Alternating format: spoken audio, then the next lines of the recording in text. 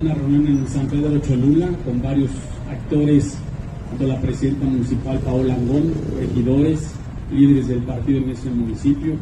¿sí? Eh, es importante, hay que decirlo, que en todos y cada uno de los municipios, tanto del área metropolitana como del Estado, hay que estar unidos con el propósito también de dar mejores resultados, primero como administraciones públicas y unidos también de cara al propósito que viene electoral en el 2024.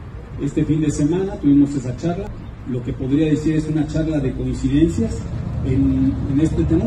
Eh, tenemos que seguir nosotros trabajando muy de cerca de los ciudadanos, quienes somos autoridad, quienes son servidores públicos, diputados locales, diputados federales, y tenemos que además de trabajar muy cercanos a la sociedad, muy importante ser conscientes de que puede haber diferencias, pero esas diferencias no pueden estar por encima del propósito principal que es servirle bien y mejor a Puebla.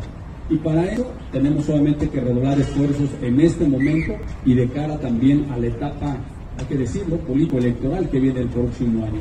Esa es una invitación, una coincidencia, y puedo decir que fue una reunión en donde todos los actores que tuvimos la oportunidad de estar ahí presentes eh, coincidimos en este propósito.